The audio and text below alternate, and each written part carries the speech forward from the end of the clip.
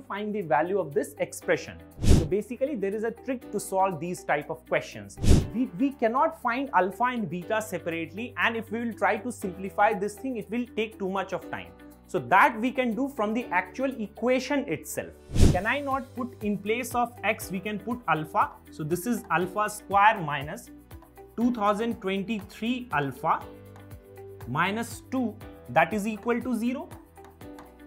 So can I multiply on both the sides of this equation by alpha raised to the power 8? Now we have to find the value of this expression over here. So what we can do? So therefore this is the answer 2023 divided by 1011.5. Hello everybody. So over here we are being given with a quadratic equation and this expression is given an is equal to alpha raised to the power n minus beta raised to the power n where alpha and beta are the roots of this quadratic equation. So we have to find the value of this expression. So if you will try to actually find the values of alpha and beta and you'll try to put it over here, it will waste your time. Maybe you'll be able to do it, but it will take too much of time.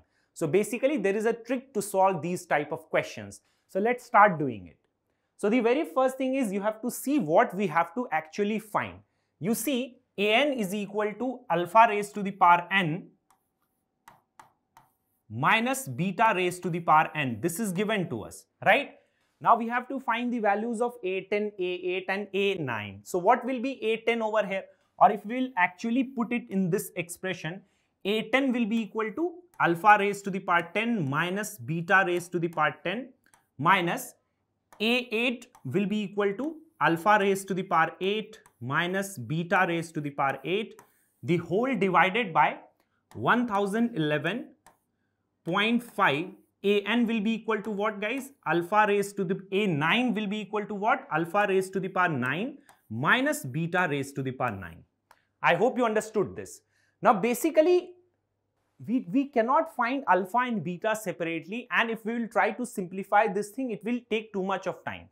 So that we can do from the actual equation itself.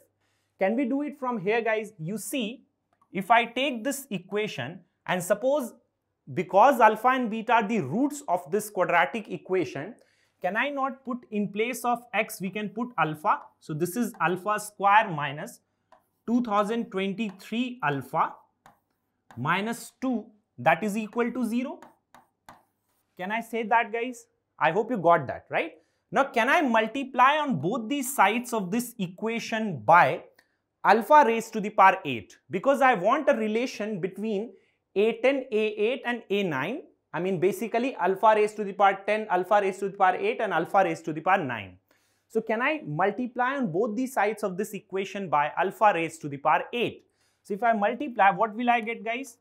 I'll get alpha raised to the power 10 minus 2023 alpha raised to the power 9 minus 2 alpha raised to the power 8 and on the other side you'll get 0 only because 0 into alpha raised to the power 8 will be equal to 0 only. I hope you got this logic.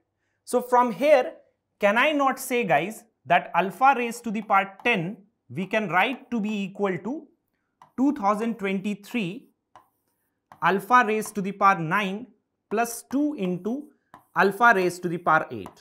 I hope you got this logic. In the same manner, can I not say that beta raised to the power 10 will be equal to 2023 beta raised to the power 9 plus 2 into beta raised to the power 8. I hope this thing is clear.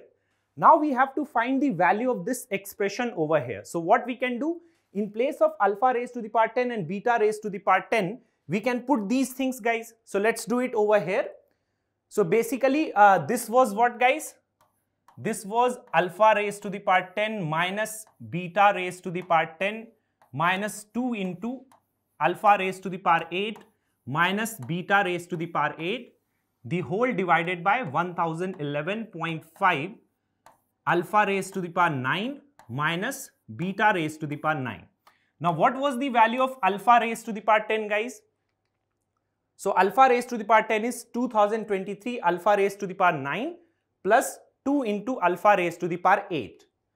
So this is basically 2023 alpha raised to the power 9 plus 2 alpha raised to the power 8. In the same manner, if I put it over here minus this will be 2023 beta raised to the power 9 plus 2 into beta raised to the power 8. I hope this thing is clear, right?